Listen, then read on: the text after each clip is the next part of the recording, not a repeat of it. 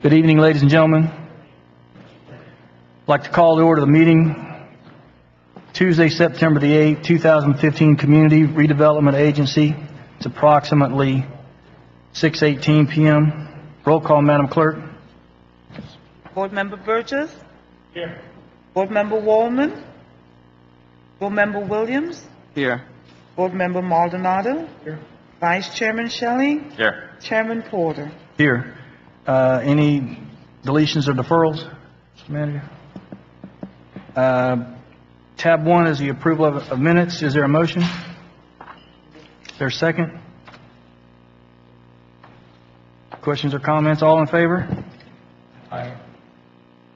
Tab two, Mr. Manager? Mayor, we have uh, Steve Scott that will be giving the presentation. Mayor, I'll, I'll go ahead and introduce the resolution. Resolution of the Board of Community Redevelopment Agency of the City of Homestead, Florida, approving the Community Redevelopment Agency budget for fiscal year 2015-2016, and directing the city manager as designated to submit the budget to Miami-Dade County or the city council for their respective approval and providing for an effective date. Thank you very much uh, uh, to the board. Uh, My name is Stephen Scott, and I'm the Executive Director of the City of Homestead Community Redevelopment Agency. I'm going to do a brief presentation, just outlining uh, the budget that you all have in your packets, um, some of the highlights. Uh, This is uh, what I call uh, sort of a good news, bad news slide, and I'll uh, start with the good news, which is that um, after, you know, so a devastating uh, fall since 2010, uh, the last two years, and this year in particular, um, revenues, TIF revenues are starting to rise. Um, This year, our, our revenue generated by tax increment funds is uh, $2,076,094.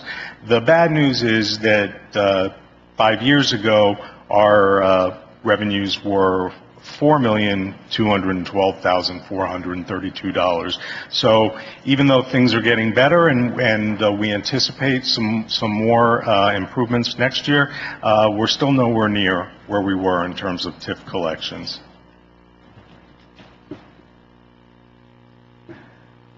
Uh, Really briefly, um, the, other than the, uh, the TIF revenue collections, we have uh, uh, $37,000 interest on investments, and we have 428,000 uh, that is bring, bringing, being brought forward from last year's budget.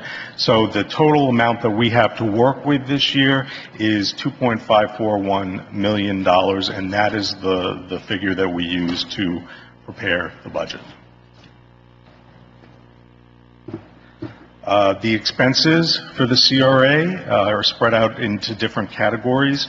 Uh, The largest one being our programs, which uh, amount to approximately $1.017 million. Uh, Next, we have our debt that we have to pay every year.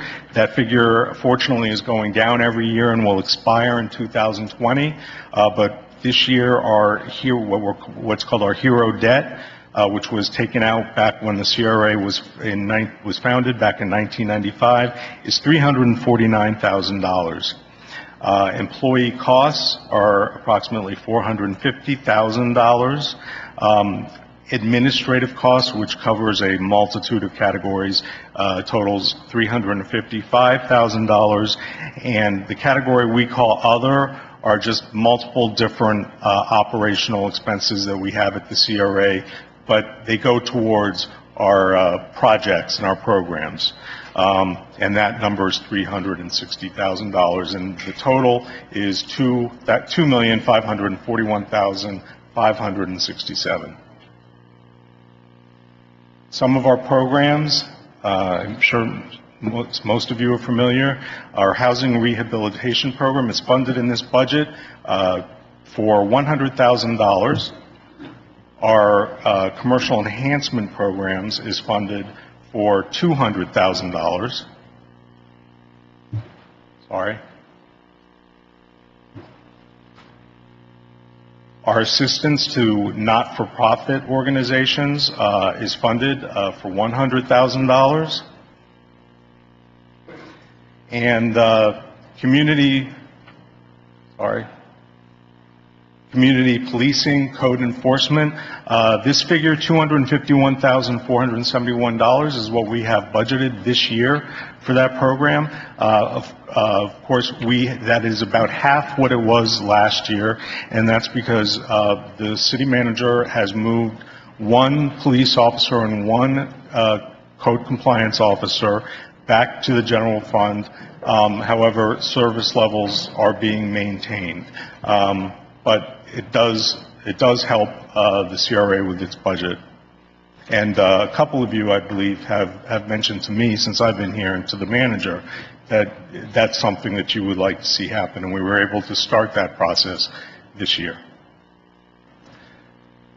And one of our larger expenditures is uh, neighborhood beautification programs. Um, That's our ground maintenance contract, which is, uh, we work in conjunction with Parks and Recreation, and we fund uh, that contract to, uh, for about $229,600. And we have two inmate crews that we pay for. Also, we work uh, hand in hand with the Parks Department, um, and we pay $91,800 for litter removal, graffiti removal, and uh, ancillary maintenance uh, around the Southwest. Uh, Basically, that's a very brief summary.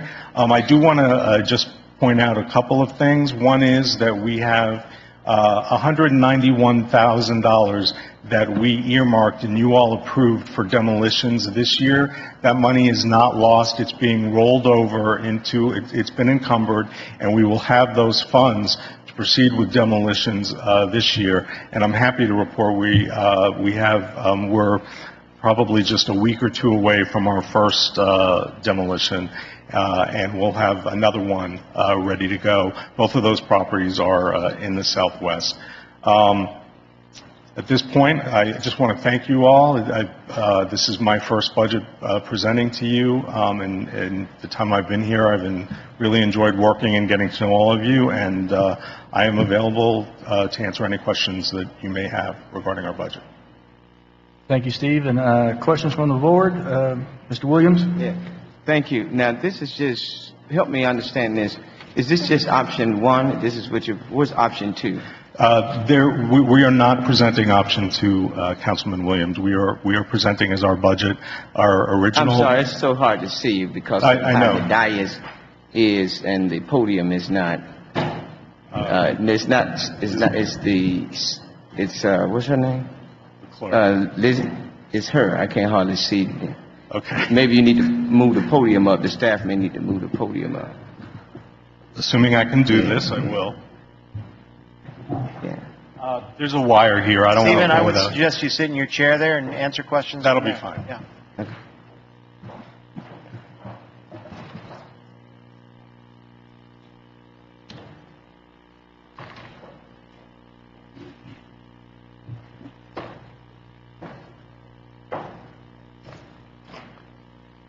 My, my question is, is number one, um, tell me what is the, because you have two different, um, in the budget book, you have one set of terms, and then in our packet, you have another set of terms.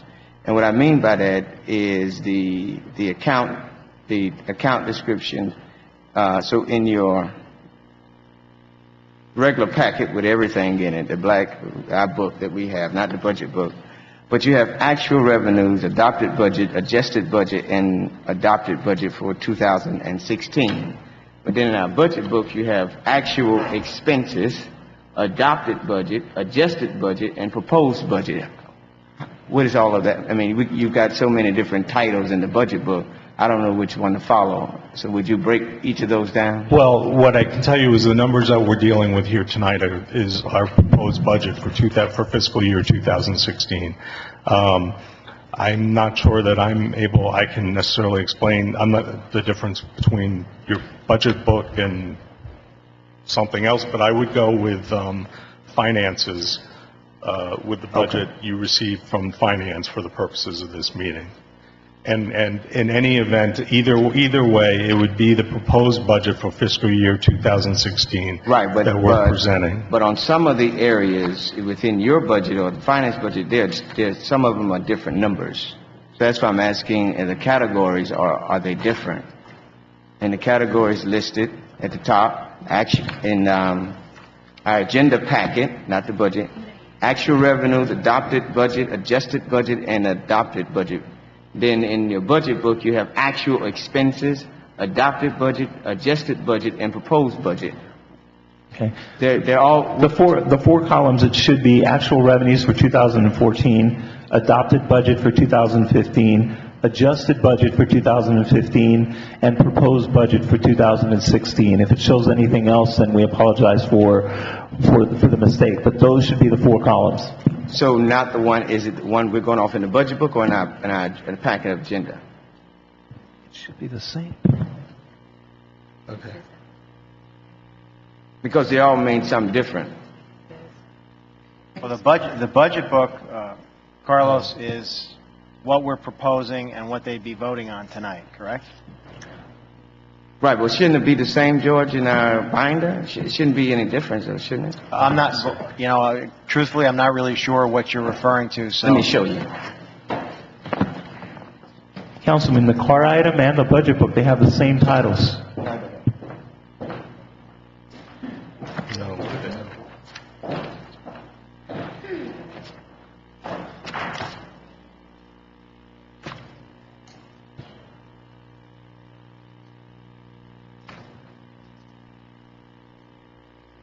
That's, it's proposed. It's actual, adopted, it should be proposed. It's just a mistake.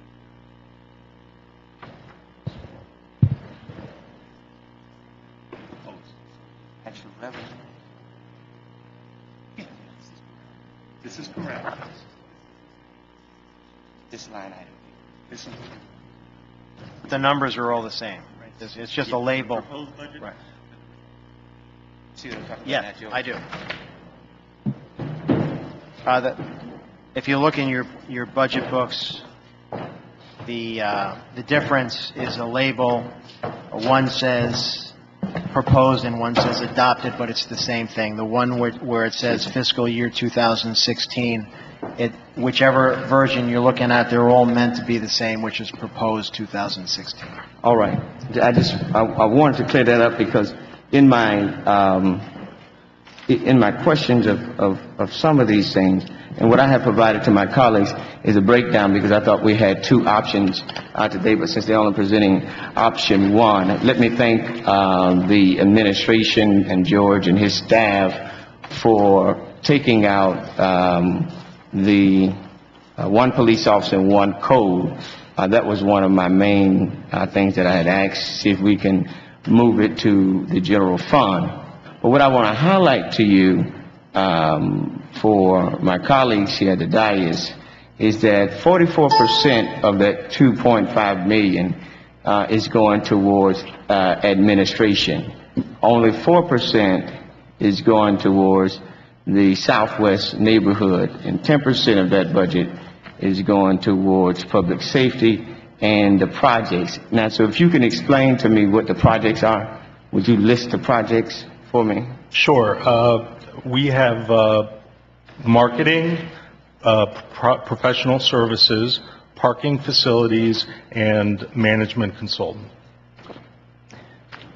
So how much is marketing? Uh, We have 190,000 in marketing.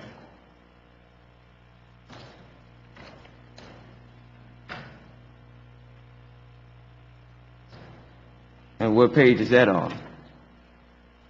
Uh, Page, if you look at uh, the, it's page 54 of the budget.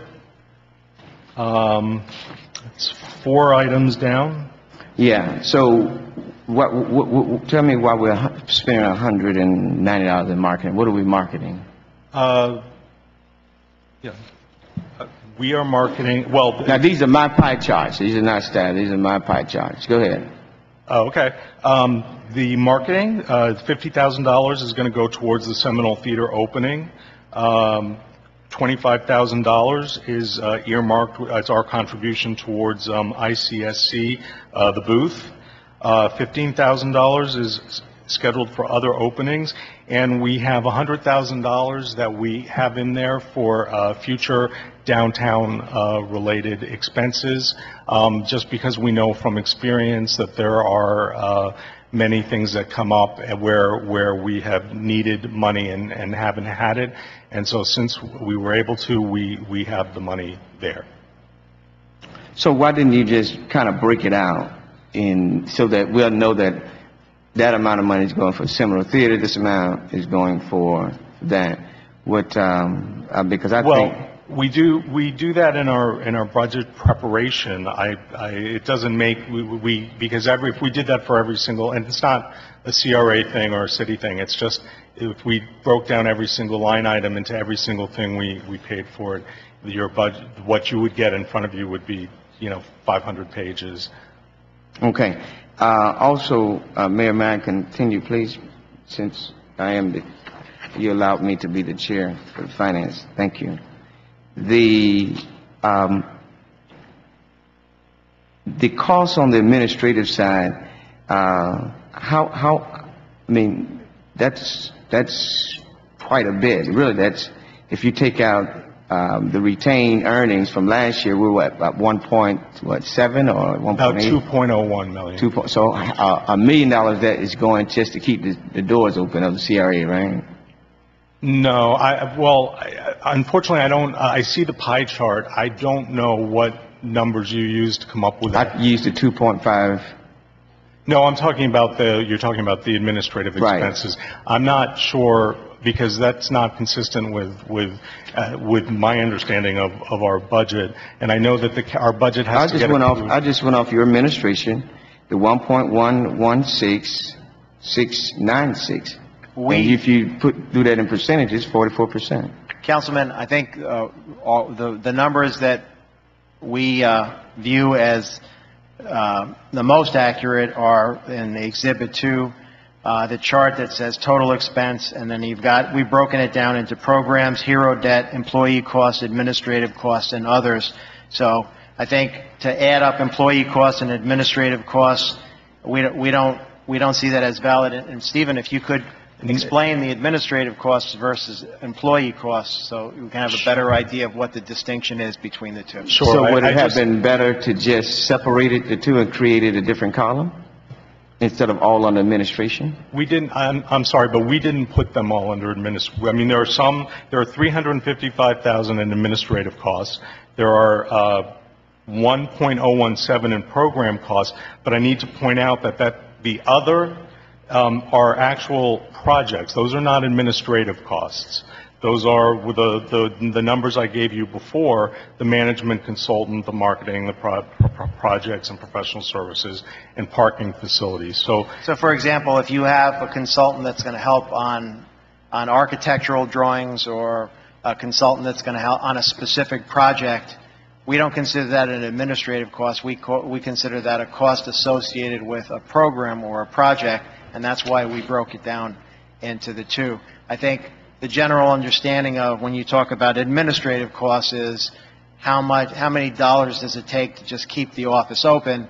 And that's why we broke them down into different components. Okay, because my only issue is, and what I'm getting at is this, is that I'm only going by how you all describe.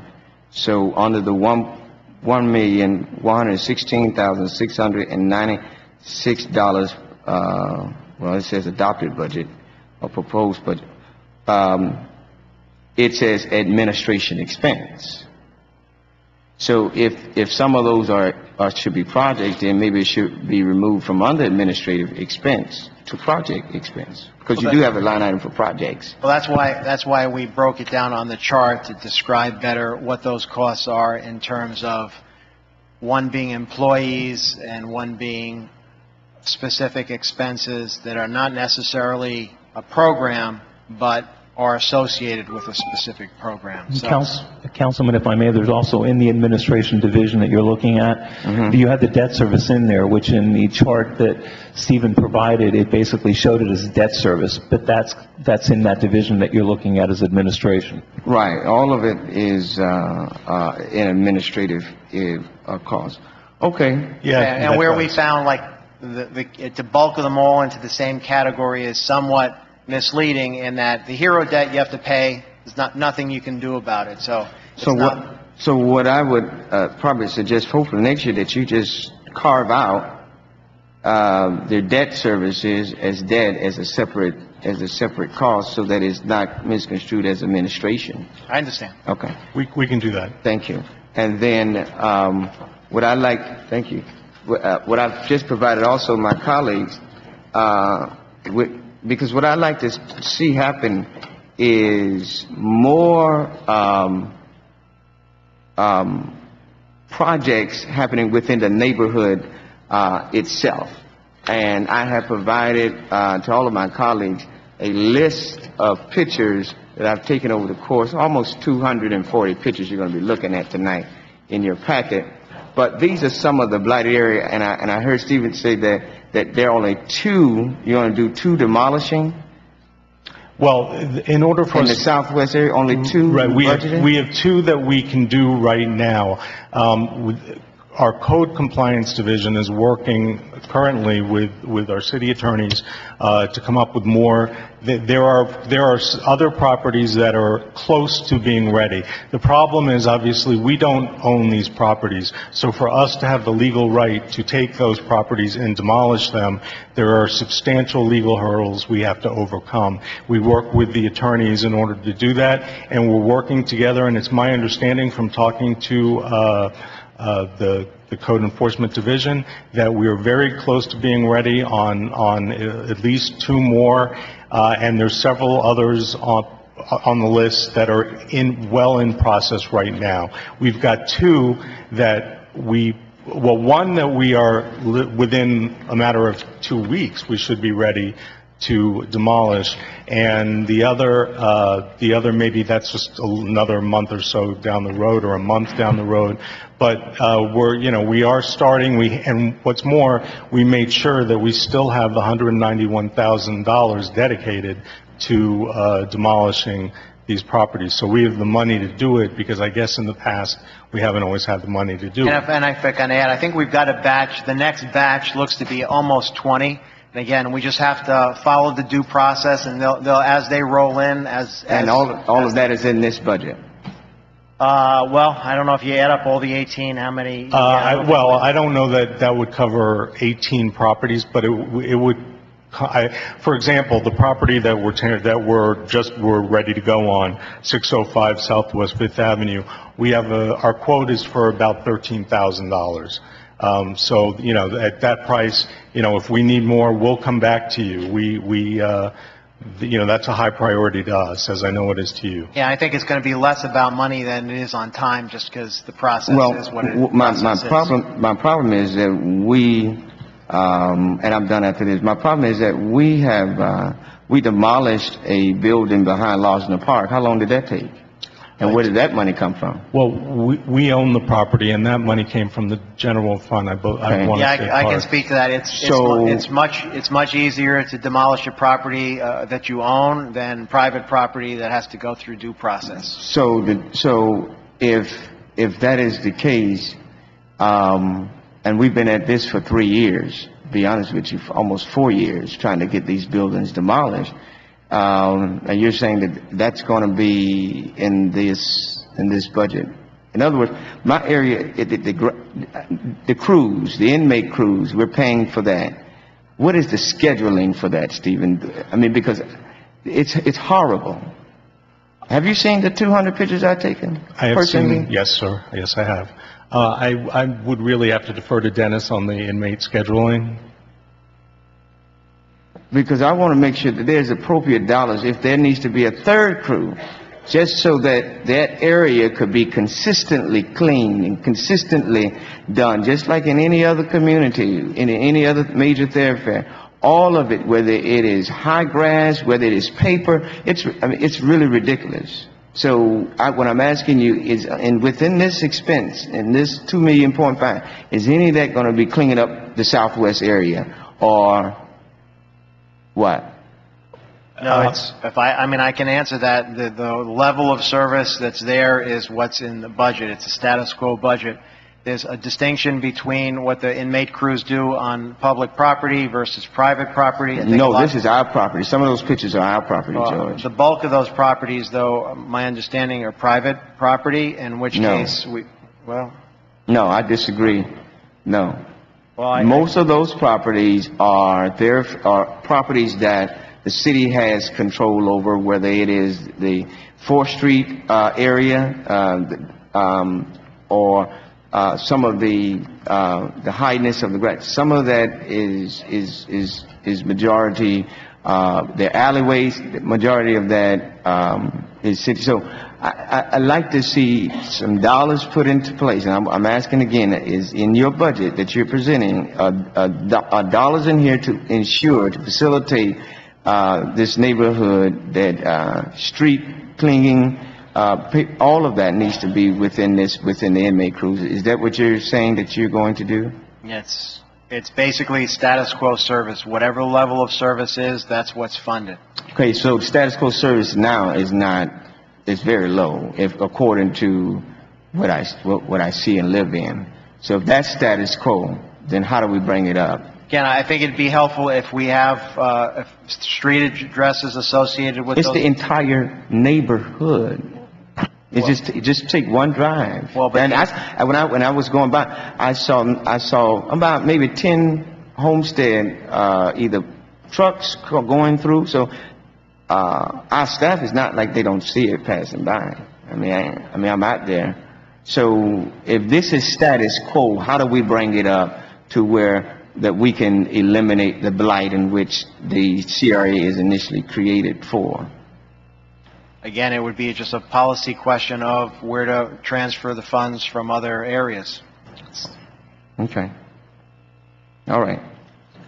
So, um, th- with the commercial facade, um, can we move, uh, can we move some monies, uh, to put, just to facilitate the cleanup of, of, of this, of this, of, of my, of this area of the southwest within the CRE boundaries? Sure. Okay, thank Just, you. it'd be a function of how much you'd like moved over there, and that's a policy decision for you all to make. We're, you know, we're flexible in terms of your priorities, and it's, it's your budget, it's, the monies can be moved in any direction you'd like. All right, okay. Thank you, Mayor. Yes, sir. Um, Mr. Maldonado? Thank you, Mayor. Um, uh, you know, once I, I just received this packet and just started going through the pictures, um, the first, the first question, the only question I wrote on this is how much of this, how much of these items are, are ours that we're responsible for? And so would you guys go through this list and kind of go down and see, But I don't, I don't, unless there's addresses on those lists, I mean, I think that there is a big distinction between private property and public Correct. property, and I think a lot of the code violations speak to, you know, people not maintaining their properties, and so they have a process they go through. right? And that's a big distinction between that and if, if our public properties aren't, aren't being cut, I mean, if, if the service is something you want more regular, then, then obviously we'd have to go through and assess, you know, what, what level of service.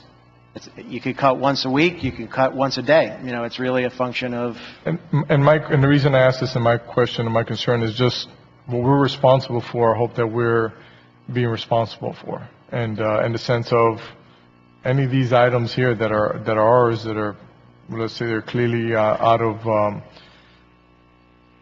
out of shape or out of, uh, what would be our normal or status yeah, I, I quo, just then- don't know which ones are. Right. So then, uh, so I guess my question would, would be to, to then the Councilman Williams and, and how do we, what's your thought process with, uh, staff in order to address these issues that you brought before us? And because I could definitely see that there are pictures here that are concerning. I know there was homes here and I understand the sense of if legally, if it's not ours, we can't touch it. And so Uh, But I guess my point is hopefully we have some type of um, line item or, or or kind of a to-do list on, on these and, and to identify what we need to be responsible and what we're not supposed to be responsible for. What we can do, if you'd like, is we can, we can do an inventory of the city properties, and we can do an assessment, a staff evaluation of what's happening to those, and uh, we can also, of the pictures, if we have the addresses, we can determine which ones are private, and then we can see have they been cited, they have not been cited. In many circumstances, what you'll find uh, in the area is that a lot of the violations that speak to aesthetics are uh, trash, and overgrown uh, vegetation. And typically, you know, the procedure from code has been, if they see that on a private property, they are to cite and go through the process.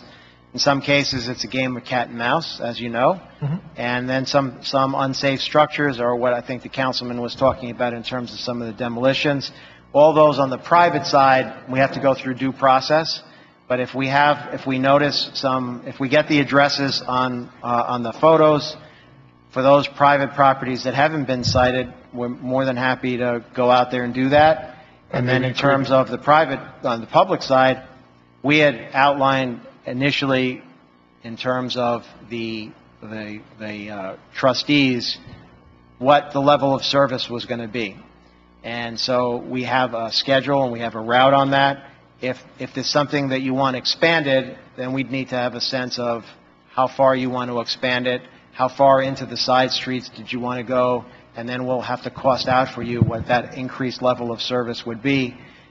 The same applies all over the city is, you know, on all our, our main corridors, you know, we made the decision long ago, I guess, when we had this discussion as a group four or five years ago, is at least figure out which main corridors you want to have this improved service, and that's why we've added uh, the trustees to the program, and we have a map that kind of outlines which areas we cover and which we don't. But there'll be plenty of side streets all over the city where the trustees aren't going that deep in, because obviously you need more personnel in order to do that. Mr. Manager? You asked me a question? Yes. No, uh, just, uh, just was, I'm sorry, just, uh, uh, my last, uh, point is just, I guess, a priority list or something, so that, at least that we're seeing, you know, this- so that it comes before us and we could make a better decision on Right, I this. mean, governmentally, it's, it's, it's, for us, this is the process we go through. Each of those pictures, if we have addresses, is it pri- private or public? And then also, did we cite it or didn't we? And if Right. we cited it, where is it in the process? And where have we been with this property owner over time? That kind of helps us understand a little bit of the history. A Some of the things that I've seen some improvements on is the, the quantity of debris that's all over the place. And that also runs in cycles as well. What I can say is that the thing that strikes you the most right now is the overgrown grass.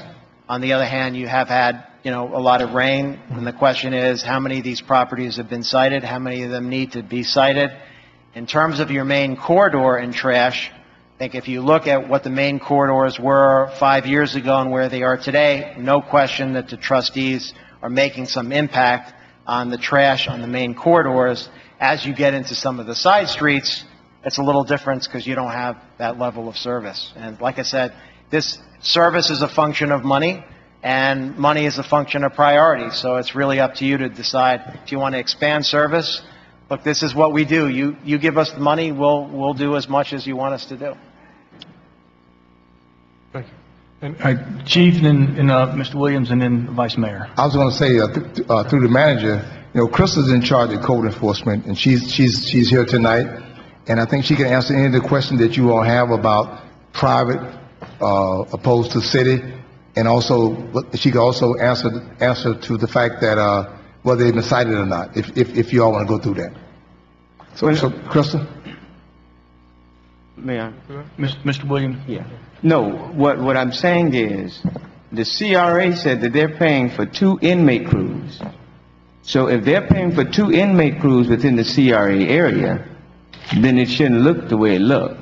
So that's why I'm asking for a schedule, because if it's paying for out of CRA dollars, they have to remain into the CRA area, am I not right? You know, we can, yeah, absolutely, we So- can, we can let me- provide you the schedule. Right, but what I'm saying is, is that if that is the case and the inmates uh, come out, how many times a week? I'm not sure. Dennis? How long do they stay? I'm not sure.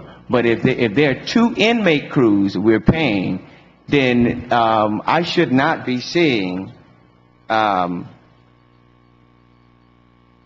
carts from grocery stores still in the same place for three days. Well, If- that, if- that wouldn't if- necessar, but that wouldn't necessarily be, though, uh, trustees, that'd be a Trustees code, code or- code enforcement issue. Not, not only code enforcement, but what do you call it, QRT? So if they're going throughout, you know, there should not be, in different places of the Southwest, there should not be carts there for two to three days. Dennis, you want to go through Sure. the schedule? And if we're paying for trust, if we're paying trustees for the Southwest area for them to pick up paper, maintain certain areas in it, then why is it placed looking the way it looks? Well, I would, I would suggest that it depends on the corridor where you found the cart. So if you, if you found a corridor on a cart that we cover and it's, and it was there for a week, then clearly somebody didn't do their job right. I would suggest it's more likely that if you found items, uh, that have been there for a long time, either it's private property or it's on a corridor that our trustees don't cover. But I think it's a fair question to ask, what's the schedule? Dennis, do you want to go through what the two crews do Sure. and what the process is? The, the, when we did it five years ago, we asked for three inmate crews. The thing is, the state didn't have any more. We're still on the list. Other municipalities and other cities are asking for inmate crews like we are. So we're still on the list to get an extra one. Hopefully that happens one day. Um, to answer Mr., uh, Councilman Williams' uh, question, they start at eight in the morning and leave at two thirty. Uh, they do, when, five years ago, when the council approved the corridors, they, uh, handle those corridors in the CRA area. The pictures that I saw were in Avocado Villas, which, that's not one of the corridors. So, where the shopping carts were at. So, once the council tells us they want more of an area, uh, then we'll make sure the schedule works on that. So they go from where to where, Dennis? Five, five years ago, when we brought the. No, I'm saying the inmate crews, where they go from where to where? The CRA area. Right, but from what street to what street? It'll be, uh, it's towards the Losner Park area, Krome Avenue. They do the Krome Avenue area, Southwest Fourth Street, Lucy Street. Those are the areas that we do, the Maori, those are the areas that we handle. Redland Road, we didn't go back to Avocado Villas that far. We stopped at So you Redland don't go to Blakely Park? Blakey Park? Yes, sir, we, well, our That's where the shopping carts were, right there on the right-hand side. Parks and Rec crews are there. Those, those should be picked up. Okay, all right. So I wouldn't say it would be the inmate, I would say it would be Well, my staff. Right, well, it's a combination. Yes, sir. Yeah. So uh, I think um, in in in in my conclusion of of, of all of this is that um, you know it it shouldn't have you know we go through this every year. I feel like I go through it every six months. Um, you know, in bringing the attention, we clean it up, we hit it, and then it's you know it's nothing has been continued uh, on a course action. And what I did email uh, you, it's George and staff, was that, you know, to do a monthly or semi-monthly walk around so that those things can be identified. So I did put a plan of action in, in my proposal as relates to the email that I sent, um, that, you know, that will be the suggestion so that we're all on the same page. And that I not, I did include that in there as part of a recommendation of what I believe that we can preempt this problem from continuing because it's just, it's just getting worse. It's not getting better at all. All right? So monies that need to be shifted, uh, uh, in, so that we can take care of, of some of these other, uh, areas that, uh, that we do have control over, uh, then, you know, that needs to be done. And thank you, Mayor and Elvis, for your indulgence. Okay, Vice Mayor? Thank you, Mayor. Yeah, I just wanted to touch on a couple issues. I know every year you guys have brought the CRA budget, and every year I, I've also echoed some of Councilman Williams' complaints, and that is we have a lot of our general fund monies or, or general fund services being paid for out of the CRA, almost like it's, it's covering some of our, what should be under the general fund. So I do commend you for moving the police and the code officers out of the CRA budget and into the general fund.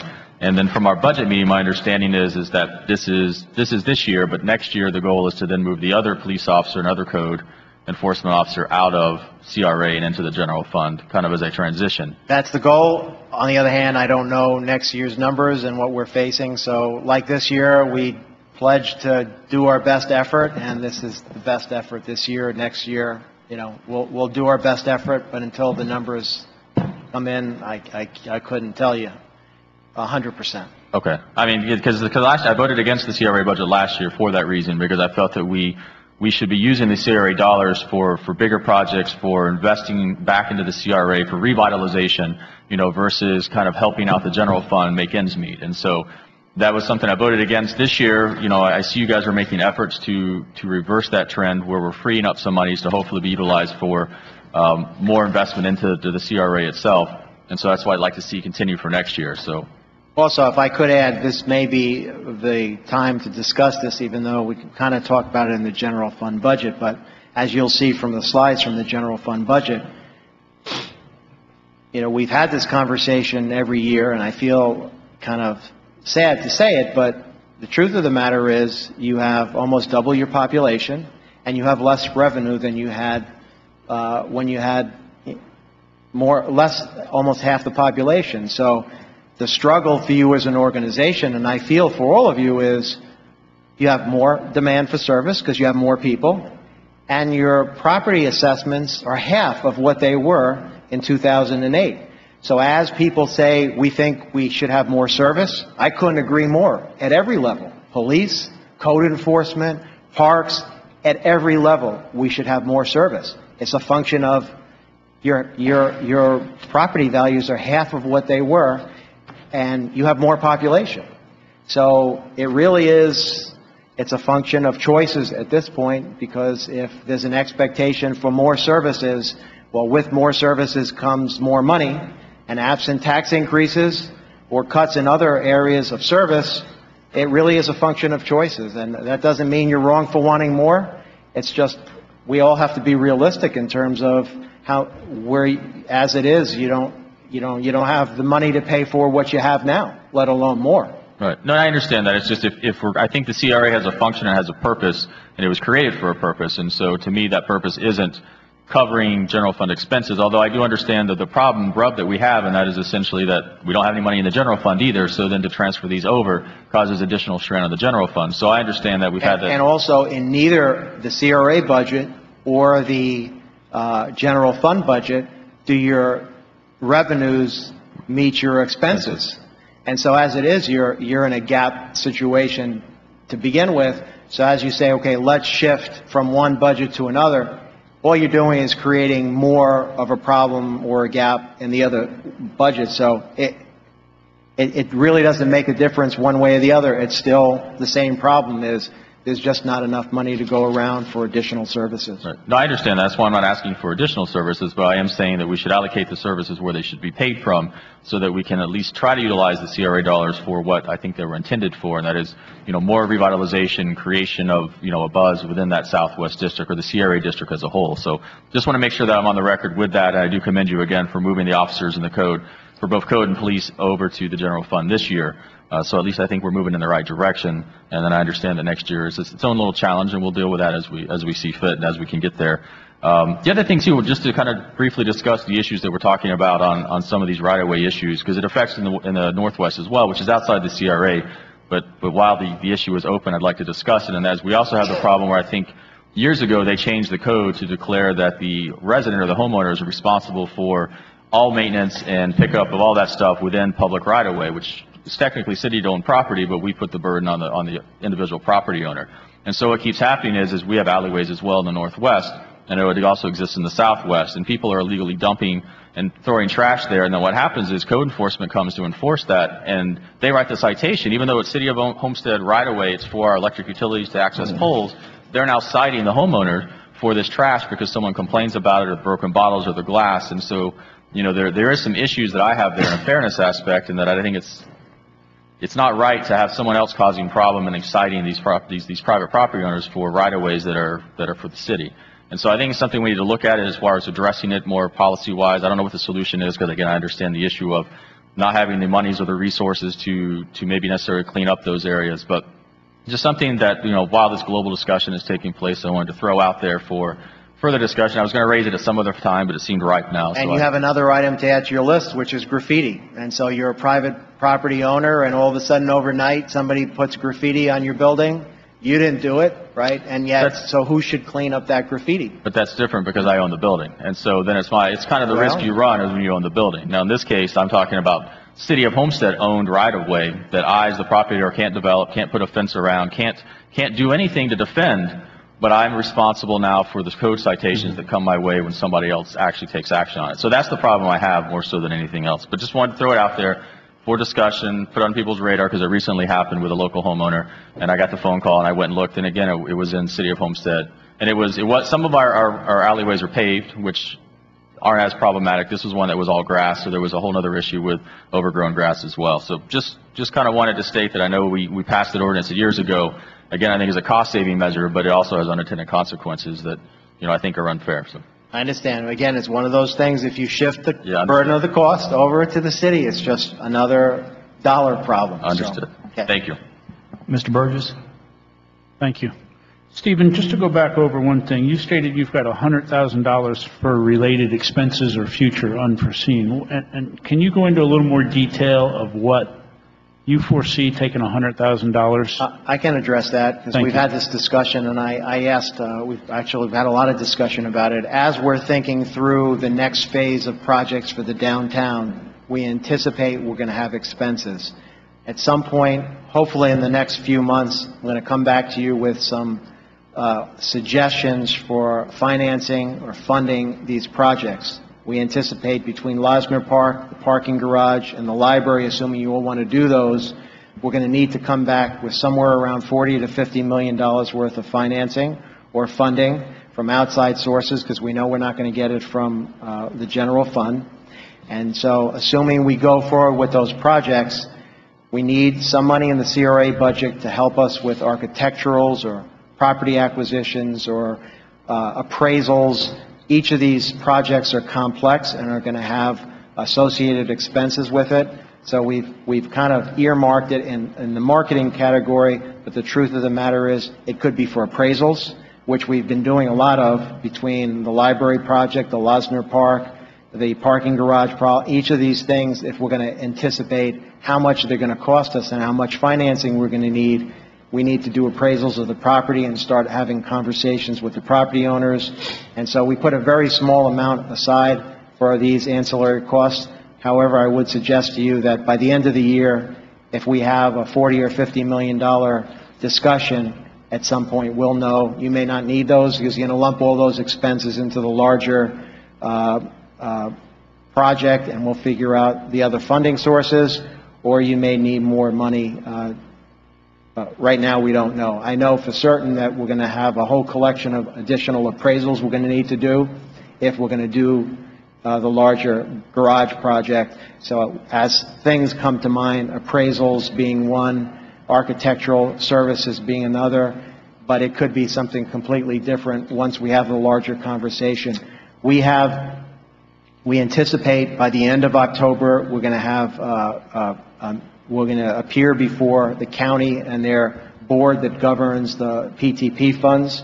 And at, at that point, we're going to have an, a sense of whether they will bless the concept of the garage and some of the transportation issues and whether some of those mon- monies can be used. And that's going to be one large piece of the three projects. Uh, and then we'll have better answers for you, hopefully by November or December at the latest. Thank you, Mr. Manager. Uh, I also want to say thank you, because I know this is my eighth budget cycle sitting up here, and it's been a constant battle of trying to remove those police officers and the code enforcement, and this is the first time, uh, out of everybody's concern it's been done, so thank you to you and your staff for, for figuring out a way to get that done, and with that, thank you, Mayor. Yes, sir. Mr. Williams?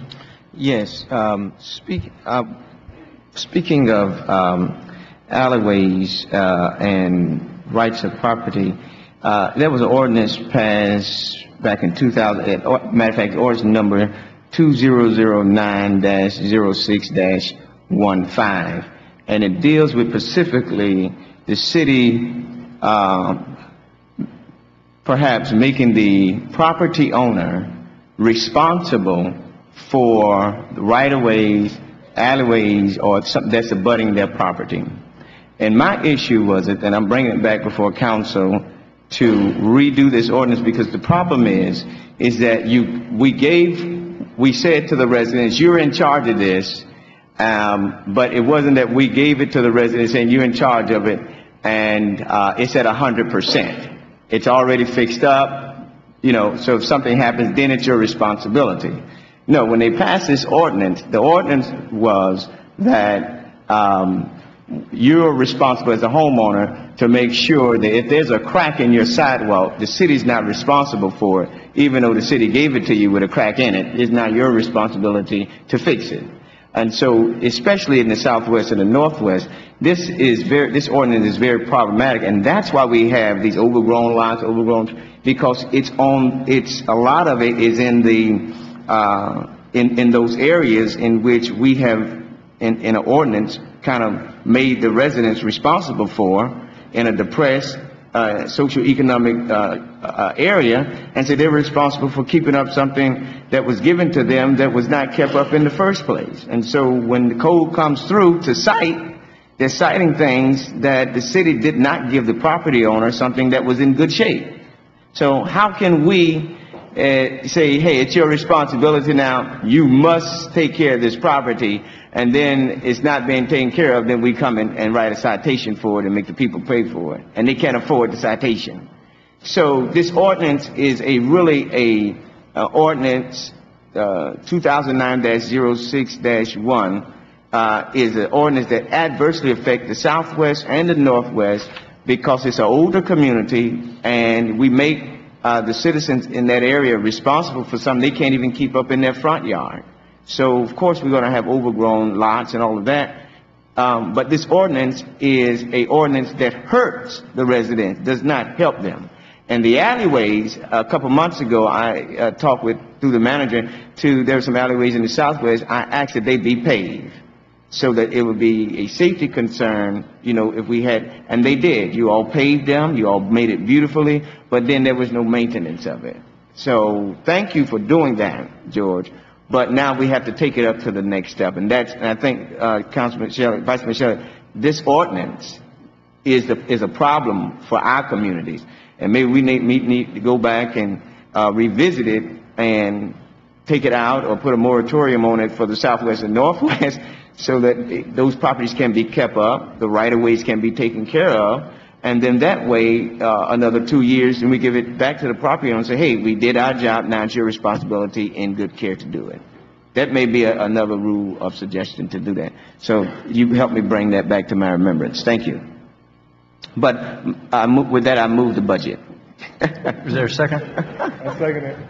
There's a second. This is a public hearing. Uh, If you're, if you're interested in saying anything for or against this budget, you're welcome to come up at this time.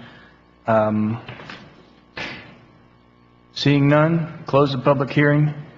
Any final comments from council? Oop, Yes, ma'am. Oh, Sorry. oh. You're here on the CRA budget? Yes. Okay. Good afternoon. My name is Zoila Gallegos, and I have a business on Washington Avenue. Um, What I need to find out is, when I was hearing about the um, beautification of downtown, it did include Washington Avenue? Mr. Manager, that's the 200,000.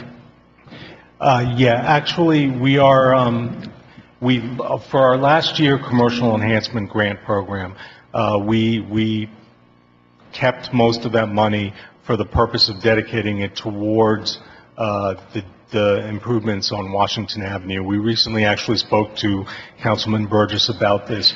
And, uh, we are currently, um, if you're a business owner on Washington Avenue, we're currently, uh, talking to your landlords about possibly, uh, doing some minor facade improvements, maybe paint the building. And we, as a city, also are looking to spend a little money to improve the landscaping and the medians and, and making sure the trees are cut back just so that Washington Avenue can, can uh, look a little bit nicer uh, in the near, very near future. We're, we're, we're set, trying to set up a meeting of all the property owners right now. There are just, there are several. And if I can add uh, also, it is a good opportunity for us to go on the record. I know there's been some rumors swirling with uh, some of the merchants on Washington Avenue that somehow the city is looking to purchase all the stores and con- and and tear them down. Just for the record, and we'd appreciate if you share with your neighbors, there's not one person on this dais has ever suggested purchasing any of those properties, condemning any of those properties. Uh, In fact, a lot of what the elected body has done in terms of the investments they've made at, uh, with the city hall particularly is so that those merchants will benefit from the increased traffic. The only property that the city has discussed the potential of purchasing or leasing is the, the, the round building at the end of Washington Avenue, the Robert Barnes Building, and that would be for potentially a, a site of a library. But that's early in the discussions. We haven't had much discussion yet with the council, but not one person here, and if somebody else, correct me if I'm wrong, not one person has discussed buying any of those other properties uh, or tearing them down. We're not in negotiations with any property owner to acquire any of those sites, and that's just rumor. And when do you think they're gonna start, um, trying to fix our, our street? Uh, oh, I'm sorry. Uh, The, the idea is to first meet with the stakeholders and have some discussion, because we certainly don't want to go out there and do anything that people don't want. And the idea is to have the preliminary discussions, go back to the council, make sure that we have the council's blessing, and then uh, we'll implement whatever the plan is. But the first piece of the puzzle is to have the discussion with the stakeholders, which would involve property owners and merchants. Okay, thank you. Thank you. Thank you. Mr. Maldonado? Just a quick question, if, um, for those, what's, what's the plan for those, uh, property, the stakeholders? Um, who are they gonna contact, or are you gonna reach out to them, or are they gonna reach out to you? Uh, Yeah, we- just, just to put that on the record just for now, so that they at least understand the first step. Sure. Absolutely. We're, we- are reaching out to the property owners. There are, there are several of them. So, you know, we have to, we were trying to get everybody together. Uh, we want to talk to the tenants as well. So we're going to work with, uh, um, uh, lot of the stakeholders in the area that know, know, that are very familiar with, with the owners. Uh, and we're going to, uh, you know, I expect that to happen, you know, in the very near future. And, uh, you know, we, we just have to get agreement. We can't paint a building that we don't own. So we just have to get agreement with everybody as to what's going to be done.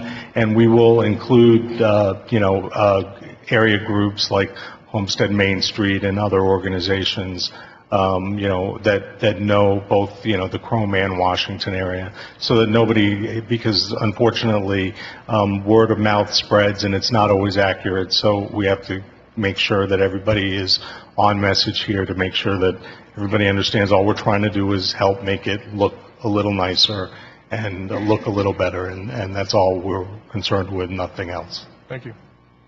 Mr. Williams? Yes, I'm sorry. I I apologize.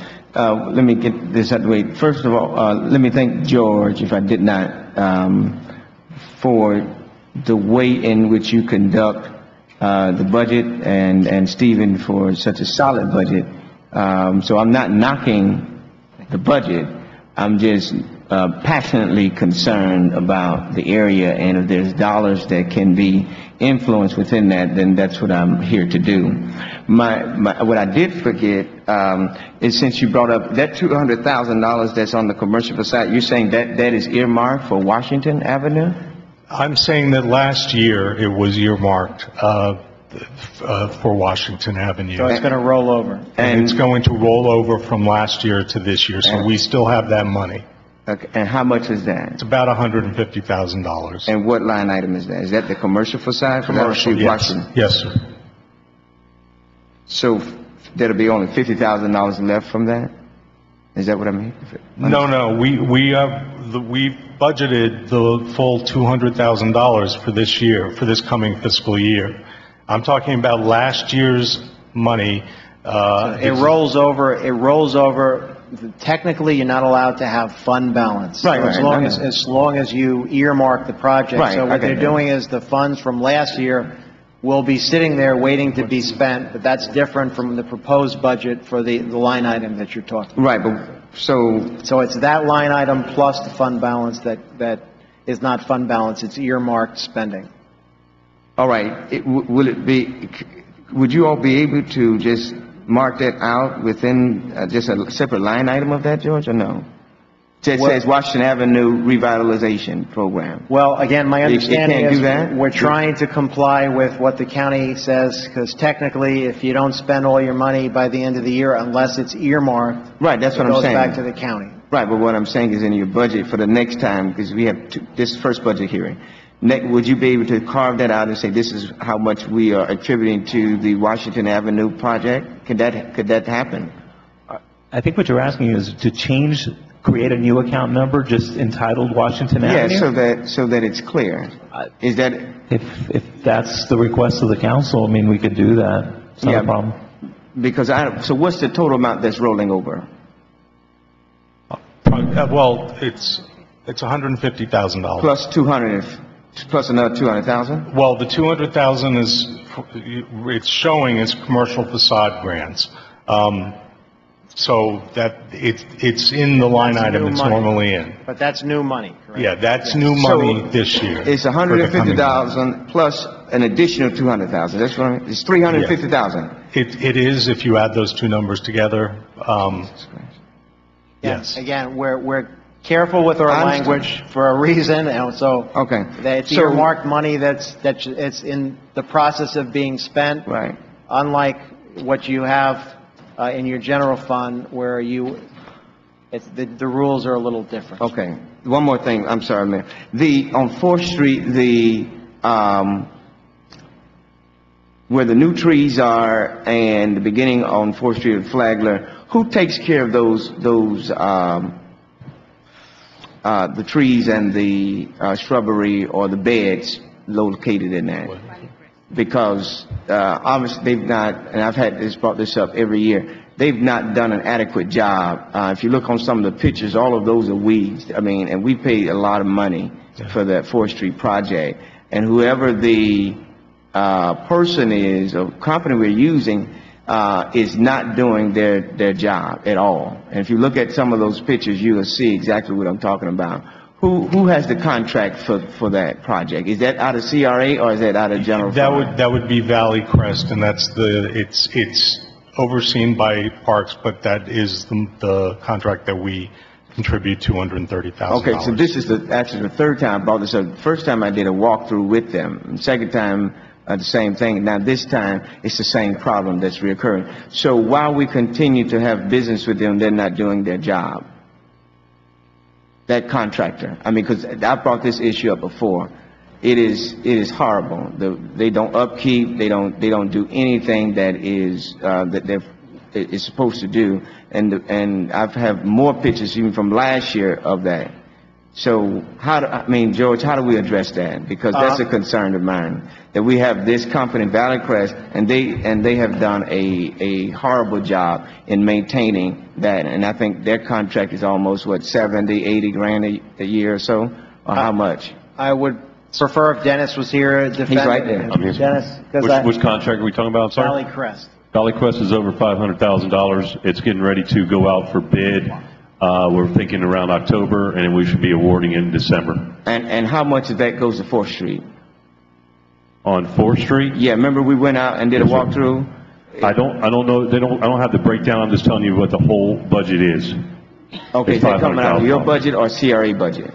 Uh, I think that falls under CRA.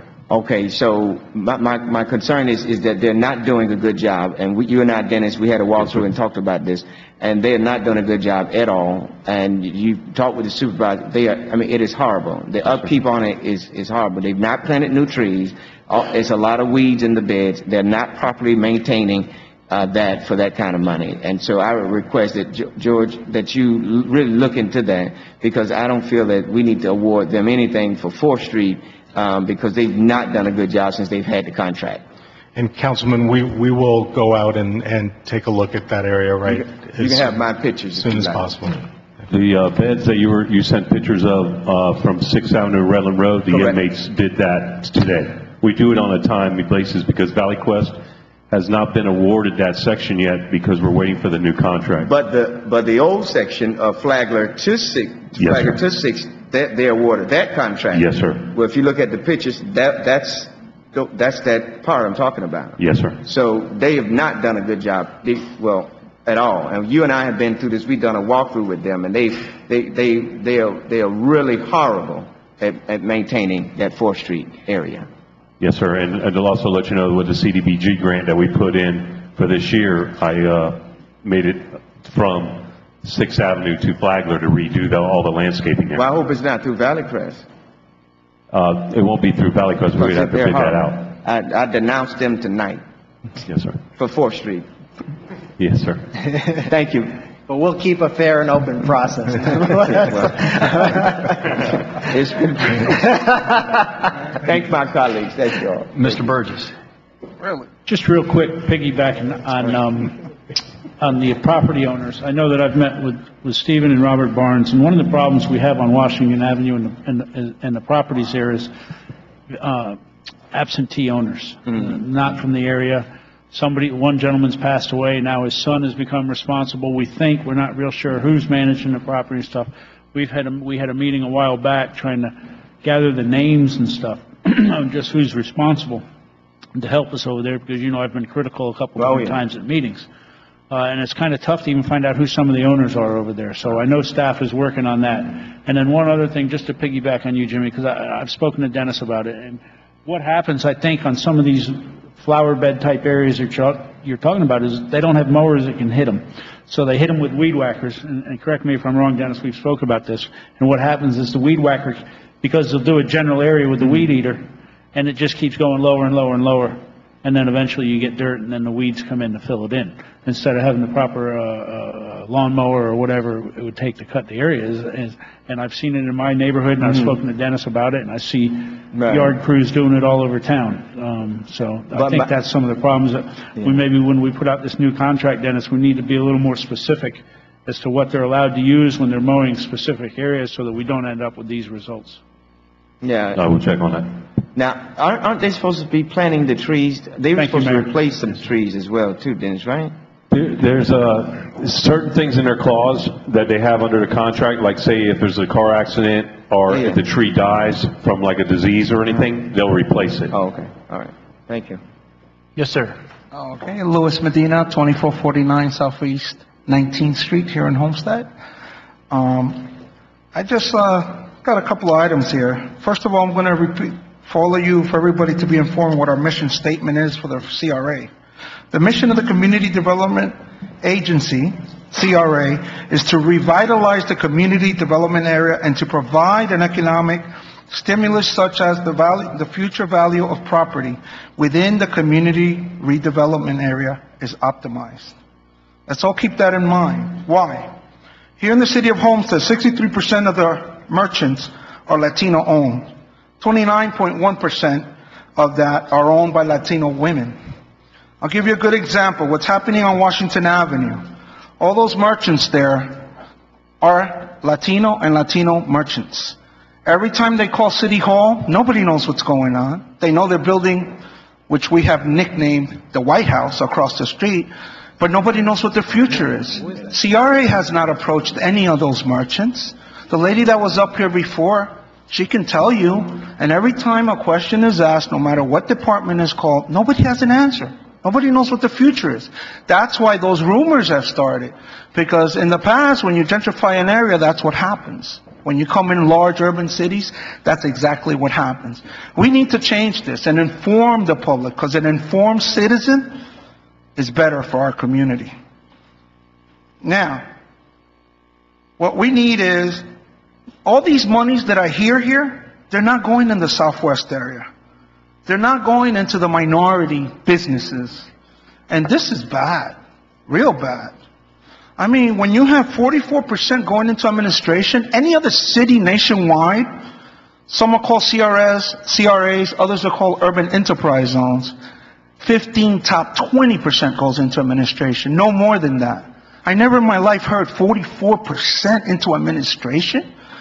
And the amount of money that's being spent on marketing and the people on Washington Avenue, the merchants that are across the street from the new City Hall don't know what's going on? What's going on here? This doesn't sound right. Another thing, CRA has the power to hire more police officers. We need them, especially for those present merchants and future merchants. Usually you hire three, not take away. That's what that money's there for. Why? Because when people come to shop, they want to feel safe when they see CRA police officers there. And we need them. Like before gentleman said, population has grown. And if the population grows, we need officers there. They're first responders. Keep that in mind. Ladies and gentlemen, we're all sitting here, we're talking about CRA monies. That's our money, whether you pay it locally, the county, state, or federally. It's our taxpayers' money. Let's use it wisely, and let's stop the, what we call the shell game. Let's stop that. And let's put the money, the council member here is right. Why is all this money being spent? We don't see it. Just take one ride around in the, in the southwest area, in the CRA area. And we'll see, is the money being properly spent? Why don't we just have an audit? And there's nothing to hide. Let's get an independent auditor and make sure everything is done right. Compare it to other cities that have CRAs and urban enterprise and so on, and see if it's being done right. So we won't go through all of these millions of dollars. Thank you very much. Have a nice evening. Thank you, Ms. Waldman. Thank you. Um, my question is to Dennis. Um, we were talking about the Valley Crest contract, and I don't remember, um, what was in the contract before, but do they do, do you allow for, um, upkeep of the grounds of the, of the gardens or whatever as far as weed control and fertilizer? I mean, is that included in their contract? Fertilization and all that is into contract, but you have to pay extra for that. Unless like something is, do you have a disease or anything like that in the grass, like chinch bugs or anything like that, that we ask for. Uh, usually like we do the football field, we'll do fertilizer, which we have to pay. So those are kind of like different items we do. Uh, just to let you know, do I think the next, this contract that's coming up is gonna be a lot higher than it is now because we did add a lot more landscaping in the city. Right. And it's gonna probably be very, very high this year, and if we add on more, it's gonna be more. My son has a similar business to this in um, east coast of Florida. Won't say where, but you know, it's very similar to to these high-end companies, and they always allow for um, the, the the weeds, you know, and and spraying your chain within their contract, which would eliminate a lot of the as Mr. Burgess said, the weed whacking and things that are going on, and the mulching, I mean, it's all part of a, it's all part of a big package. And you can't just go out and hire a company just to go in and mow and weed eat around the edges. You have to have maintenance in order for it to look good. And that's probably the biggest complaint I get, is the way that we maintain our, our, and we don't have color, we don't have the flowers, we don't have the things that we all want. But as the city manager said, we're working on half the budget that we had when, when we had half the population. So, um, but I just wanted to, to remind you that when we do start negotiating with bidders, that you include a source of, um, maintenance within the, the grounds itself. And that's on everything. Yes, ma'am. And also, um, congratulations, good budget, very nice. Um, I've been on the phone w- before I got here, listening to everything, and, um, um, you worked really hard, and welcome, welcome, welcome aboard. Thank you. Thank you. Mr. Williams? Um, uh, um, let me just clear something up, uh, and, um, and I'm taking up for staff at this moment. Uh, this staff and this board has done the best job in articulating our policy in which we set as a board. There's never been any malfeasance, any misappropriation of funds through CRA. The staff, our auditors are sharp. Our manager has the full integrity to, to, and our director to ensure that these funds are spent the way they're supposed to be spent. All due respect to the comment, but, um, you, you are, I've, so I don't want it to be misconstrued that this board has allowed any, um, misappropriation of funds.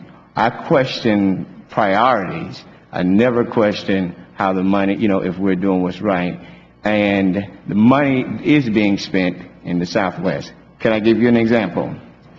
The commercial, the residential uh, facade grants, those were done back in, when I first got on council, those were my initial projects. We have done almost 30 to 40 houses within the Southwest because of these grants. Um, um, and to also some of these businesses that are applying. So, so this CRA is on top of its game. It does not misappropriate funds, and so I can't sit here and say that uh, I can agree with all of the comments that the presenter made. Um, um, and uh, the, the staff does an excellent job to ensure that our priorities are met. And so I needed to say that. Didn't want anybody to think these are my pie charts. and so, you know, um, this board has highmost integrity, and each council person up here, including the mayor and the vice mayor, are has high integrity to ensure that these budgets are, are moved and processed, and that they are the will of, of the people. And so, all due respect to the speaker, they do what they're supposed to do with the money that we allot. And so, I needed to say that, and didn't want our staff to be, or, or council be beat up on because of, of that, okay? So with that, Mayor, can we do, move on with the order today? Thank you, Mr. Williams. Uh, We have a, I did close the public hearing. We do have a motion and a second. Any final comments? Roll call, Madam Clerk. Board Member Maldonado? Yes. Board Member Burgess? Yes. Board Member Williams? Yes. Board Member Waldman? Yes. Board Member Fairclough? Yes. Vice Chairman Shelley? Yes. Mayor Porter? Yes. The motion carries. Any reports, any additional reports, Mr. Manager? Uh, Any public comments? We've had public comments. What I- what I'd like for us to do is, there was a qu- a question that was proposed by the Vice Mayor and Mr. Williams about that one code. Joe? Uh, The the code question? Oh, ordinance two Ordinance zero about, uh, zero nine dash about- zero six dash fifteen. We'll look it up and. Well, but in addition to that, one of the things that I think we need to talk about as a, as a body is the Southwest Master Plan, and is it helping or is it hurting the opportunity for the Southwest community to, uh, to flourish? There's, there are some concerns that maybe we've got some things buried inside that plan that, um, are not helping. We don't have to throw the plan away, but I think we need to tweak this plan to allow, um, a little bit more flexibility for people when they want to come. It's a little constrictive, so, and the only way that I know to get it, it back on the table is to get it back here first and let this body decide as to whether or not, send it back to Planning and Zoning Board, let them tweak it, but I think we need to talk about that as, as a way to free up the opportunities for the, the, the Southwest community. Okay? Yes, sir. Any opposition to that? Nope. Um, Ms. Waldman, did you have a comment? Okay. Um, is there a motion to adjourn? Move it. Is there a second? All in favor? Aye. Motion carries. Thank you, everyone. Give us about five Thank you very much.